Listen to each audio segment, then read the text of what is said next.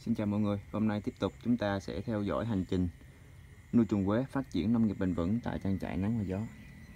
Ba bốn ngày qua thì trời mưa rất là nhiều nên nước nó ngấm ở ngoài, ngấm vô.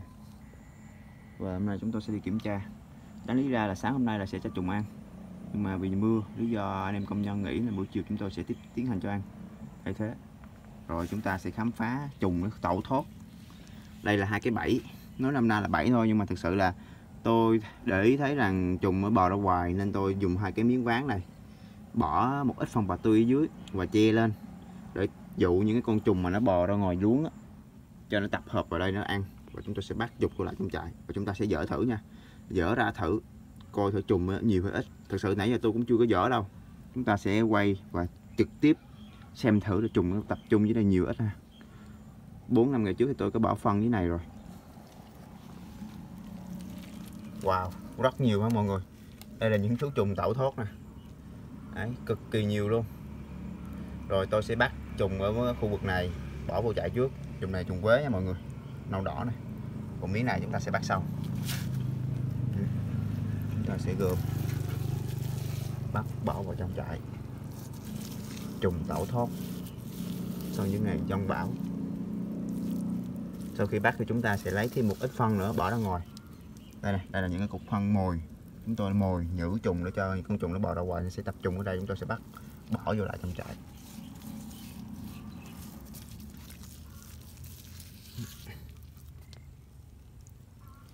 Rồi tương đối hết rồi. Chúng ta sẽ dỡ cái miếng ván bên kia xem, thử có trùng nhiều không.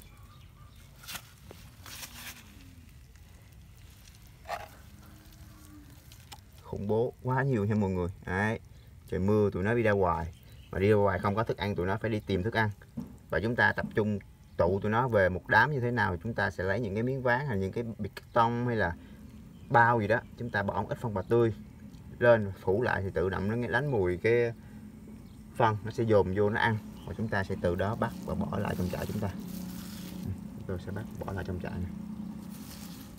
Những con trùng đai lâu ngày rất là to luôn.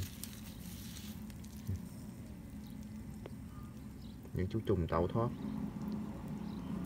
Quá nhiều mọi người. Rồi, cho vô chạy miếng mày, những cục phân này chúng ta sẽ giữ lại và tiếp tục bả tiếp, nhử tiếp. Bảy mồi. Ở củ chi á, trong vườn cao su á, thì trùng nó bò tứ tung.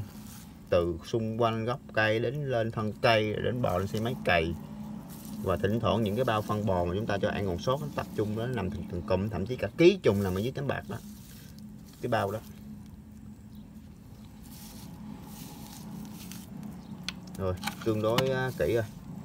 Chúng ta sẽ tiếp tục bả bằng cách là lấy một cái phân bò. Phân bò trong này. Chúng ta ví dụ như cục này đi. Phân bò tươi tươi. Khô khô một chút xíu cũng được không sao cả vì mùa mưa là ẩm cao. Chúng ta bóp này chúng ta bóp nhỏ ra, mềm ra. Đấy. hốt một ít cát ở phía ngoài. Bỏ lên trên, cho nó ẩm ẩm vậy. Tạo một cái môi trường giống như môi trường giả bên ngoài cho tụi nó. Rồi. Sau đó cầm miếng ván này phủ lại. Đấy. chúng ta phủ lại. Bên này cũng vậy. Lấy một ít phân bò. Bóp nhỏ ra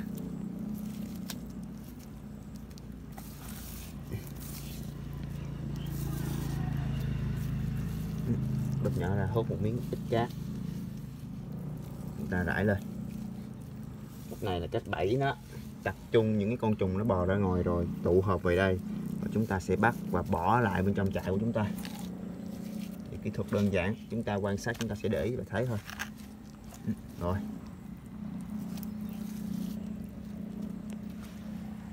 Rồi chúng ta sẽ kiểm tra bên trong trại của chúng ta là trùng nhiều hay ít ha. À, bắt ngẫu nhiên chỗ này đi. Khá nhiều hơn mọi người? Rồi, xin cảm ơn và hẹn gặp lại trong những cái video sau. Giới thiệu về trại trùng quế, kỹ thuật nuôi trùng, cũng như là những cái ứng dụng trùng quế trong nông nghiệp sạch, trồng trọt và chăn nuôi. Mọi người nhớ like, đăng ký kênh và chia sẻ cho nhiều người cùng biết để chúng ta theo dõi hành trình này nhé. Xin trọng, cảm ơn và hẹn gặp lại.